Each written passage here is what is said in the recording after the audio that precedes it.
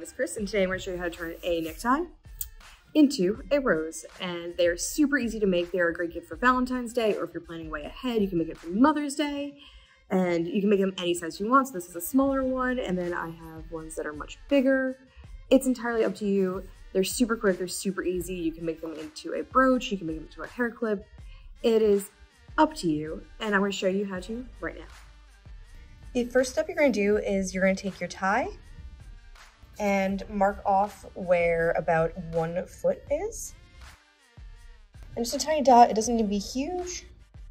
And it's gonna be on the inside so no one will see it. Then you're gonna take your hot glue gun, put a line of glue,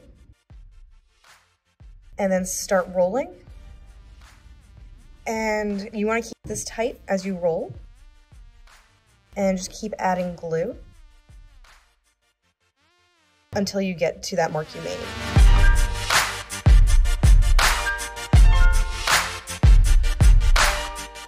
Once you've reached the dot, the next step you're gonna do is you're gonna take the remainder of your tie, you're gonna give it a twist, and then fold it over, and put some glue down the bottom, hold in place, and then make another twist, put your dot of glue, and then keep working your way around. If you need to, you can put some glue in here as well to keep things more stable if it looks like it's getting weird and floppy.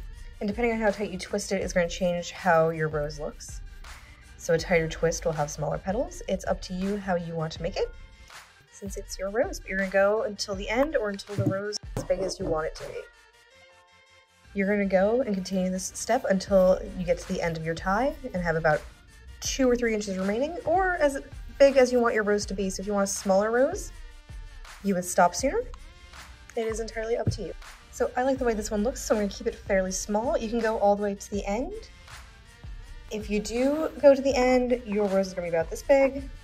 This one's about midway through the tie, um, of the wider part of your tie. And this one, we haven't even gotten to the wider part of the tie yet. So like I said, it's as big as you wanna make it. I like the smaller rose, so I'm gonna keep it at this size. And I'm gonna trim so it folds over the back to keep a nice smooth back. And then double that amount and trim. And then we're gonna fold this over so that this raw end is covered and no one can see it. And then you're gonna put glue on this now, what would be the inside edge when you fold it again. Hold in place while your glue sets. Once your glue has set, you can take either a hair clip or a pin back and just hot glue it into place. I'm going to use the hair clip. And this is the part I want to my head. So I'm going to make sure the glue is on this side.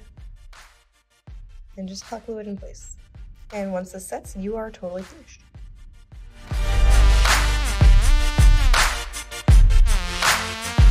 Support public libraries. Like, share, and subscribe for more great videos.